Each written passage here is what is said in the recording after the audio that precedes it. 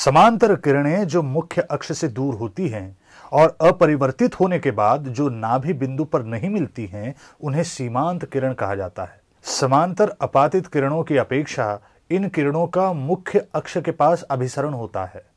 इसे हम गोलाकार विपथन कहते हैं, जिसके परिणाम स्वरूप अस्पष्ट प्रतिबिंब तैयार होता है।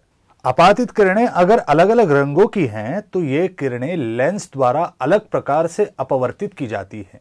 जिसके परिणाम स्वरूप हर किरण का नाभ्यांतर भिन्न होता है। सफ़ेद प्रकाश सारे रंगों का मिश्रण होता है। उत्तल लेंस से जब अपातित किरण गुजरती है, तब जो प्रतिबिंब तैयार होती है, वह स्पष्ट नहीं होती है। इस प्रकार जब लेंस सारे रंगों को एक बिंदु पर केंद्रित नहीं कर पाती है, उसे रंग का विपथन कहा जाता है। गतिविधि। चलिए अब एक पोर्टेबल अर्थात छोटा सा ऑप्टिकल बेंच बनाते हैं। इसके लिए हमें वलीद अर्थात मुड़े हुए गत्तों की आवश्यकता होगी, जिन्हें हम काट कर एक दूसरे के साथ चिपकाएँगे। किसी मज़बूत चिपकाने वाली गोंद की मदद से हम लेंस को कांच की शीट के एक्रेलिक के साथ चिपकाएँगे।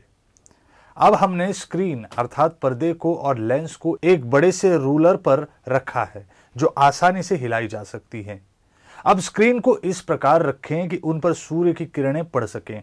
अब लेंस को स्क्रीन से उतनी दूरी पर रखें। जिससे हमें सूर्य का स्पष्ट प्रतिबिंब मिल सके। इस दूरी को हम उत्तर लेंस का नाभ्यंतर कहेंगे।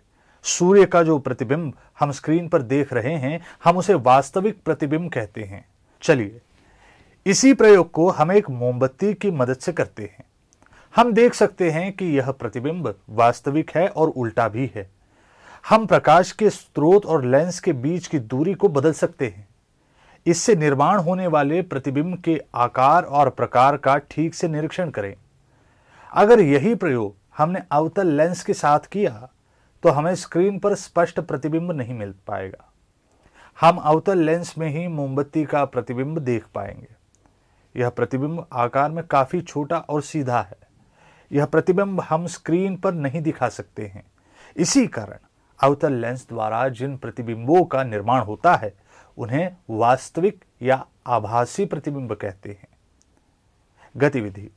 अगर हमें बाज़ार में विभिन्न प्रकार के लेंस न मिल पाए तो हम उन्हें प्लास्टिक की मोटी शीट की मदद से या फिर पीवीसी शीट की मदद से भी बना सकते हैं।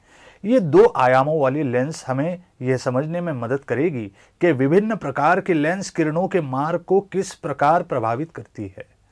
अब हमें दो वृत्त आकार गोल बनाने हैं और जहाँ पर ये दो वृत्त एक दूसरे को काटते हैं, वहाँ पर हम उत्तल लेंस रखेंगे। प्लास्टिक की एक मोटी सी पट्टी काट कर हम उसे पीवीसी के शीट के साथ चिपका देंगे।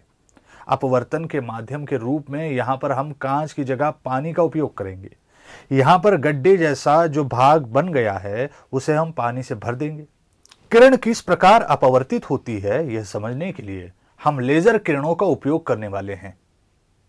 हम इस प्रकार से अलग अलग प्रकार और आकार के लेंसेज बना सकते हैं।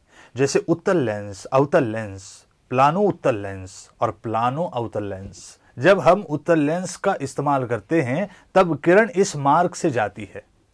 जब हम अवतल लेंस का इस्तेमाल करते हैं, तब किरण इस मार्ग से जाती है। जब हम प्लानो उत्तल लेंस का इस्तेमाल करते हैं, तब किरण इस मार्ग से जाती है। और जब हम प्लानो अवतल लेंस का इस्तेमाल करते हैं। तब किरण इस मार्ग से जाती है। सारांश, इन प्रयोगों के द्वारा हम लेंसेज की विशेषताओं के बारे में जान पाए। हमने यह भी जाना कि इनके द्वारा किस प्रकार के प्रतिबिंब निर्माण होते हैं। आप भी थोड़ा परिवर्तन कर इस प्रकार की कृतियाँ कर सकते हैं।